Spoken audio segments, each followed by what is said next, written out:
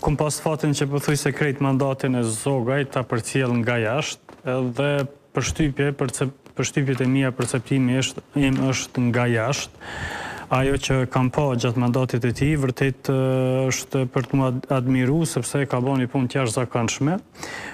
Gjatë mandatit të tij kemi pas një sërë rregulloresh që janë miratu Një prej më të rëndësishmet ndoshta është mbi normat e gjyqtarëve.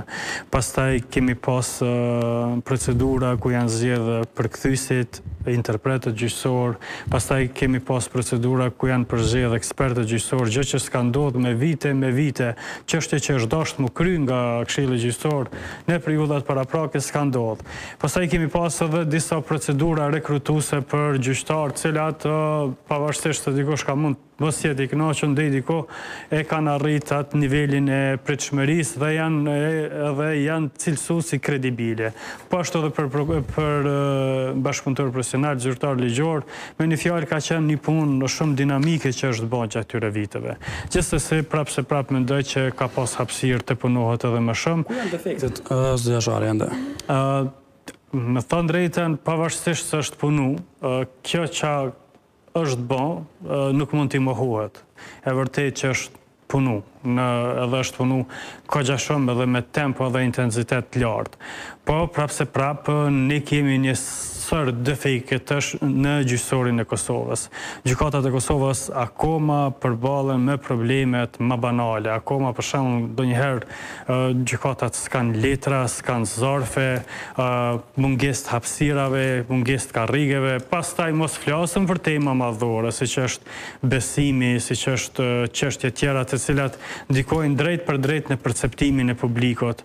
Prandaj ky si mandat i parë i Zogajt ndoshta ma shumë ka qenë në sanimin e disa problemeve, thjesht qysh thonë n'këtë gjuhën e ndërtimtarisë me me i mbyll gropat, Edhe ndoshta edhe s'ka mund të bëjë më shumë, por ndoshta një pej pikave po ashtu të dobta ka qenë ky konfrontim i vazhdueshëm me Ministrinë e Drejtësisë pavarësisht kush e ka fajin. Do t'ju pyes specifikisht se kjo është kjo është temë më vete, pra temë më vete. Kam në lidhje të drejtpërdrejtë me Hasan Shalën, ish-kryetarin e Gjykatës së Apelit, avokat. Z. Shala, përshëndetje.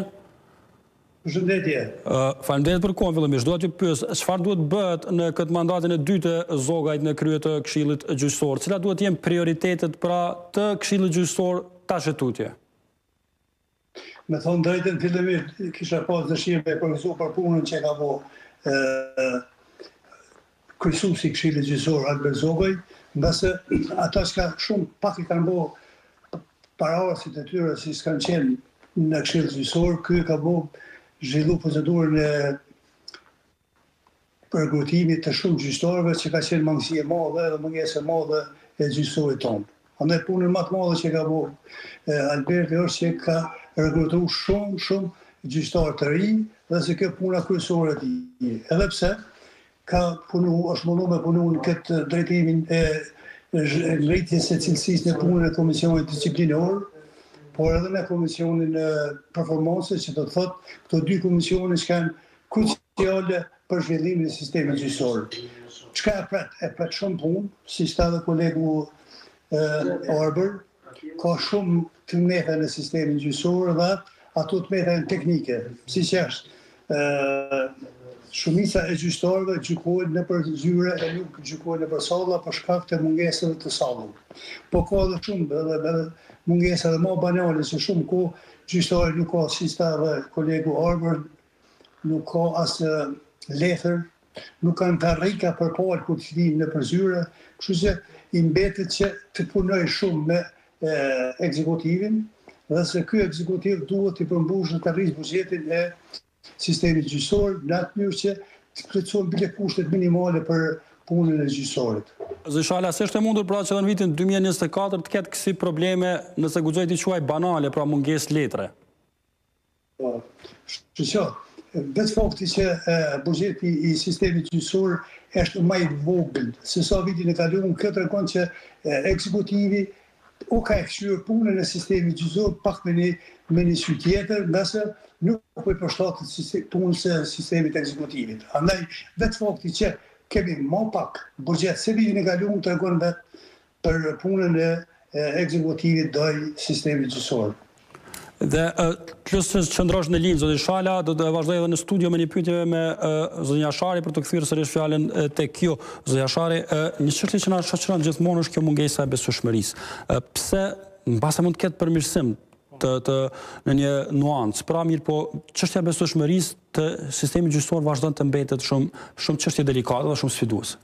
Ë po, është një çështje për vite të tëra është ndërtu narracioni se gjykatat janë korruptuara, gjykatat nuk punojnë.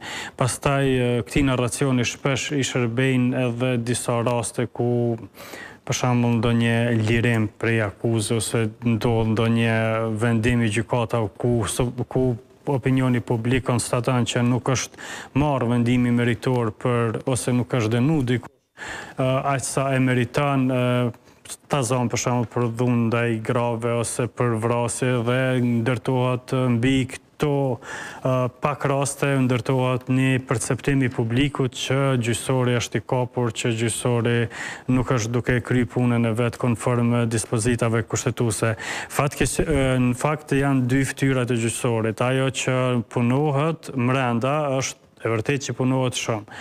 Mirëpo nuk bëhet lajm shpesh, ne e dimë se jetojmë në epokën tonë edhe mediat, organizatat e shoqërisë civile dhe shpesh ndodh ndonjë rast i cili nuk pritet mirë në publik dhe ai pastaj bëhet lajm dhe shërben.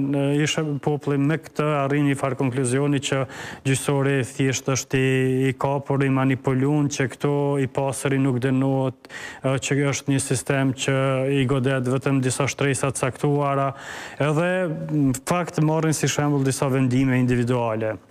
Kjo është e para. E dyta edhe ajo që me drejt e tha edhe kryetari, në fakt e tha kryesuesi, kemi nganjëherë edhe deklarata të pamatura të ngutshme nga ana e qeverisë gjë që i shërbejnë kësaj. Shpesh gjërat në praktikë nuk janë ashtu siç mendon opinioni. Për shembull kohët e fundit, po ta përmendi veç një shembull, edhe pse s'ka të bajë direkt me gjyqësorin. Ka pas shumë presion pse s'po ngritet një aktakuzë për rastin Banjska.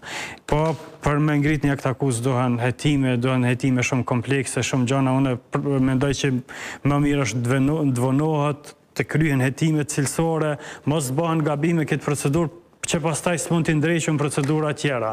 Edhe me këtë ndërtohet opinioni publik sikur diçka po sabotohet, se diçka nuk është në rregull, ose kur ndodhë që te na njerëz gjykohen, populli në bazë të asaj që ndëgjon në media, në bazë të asaj që flitet e arrin një farë perceptimi ose gjykimi. Pastaj në procedurë gjyqësore ka njerëz edhe që mund të lirohen nga aktakuza për mungesë të provave dhe pastaj jepet përshtypja sikur gjykatat po i amnistojnë personat e caktuar. Është e vështirë të arrihet besimi qind për qind, unë mendoj që besimi në gjyqësor do të arrihet paralelisht me besimin në shtet. Kur ne do të kemi një farë mënyre besim të përgjithshëm në institucionet, se këtu s'ka besim pothuajse në asgjë, edhe pavarësisht se prijnë.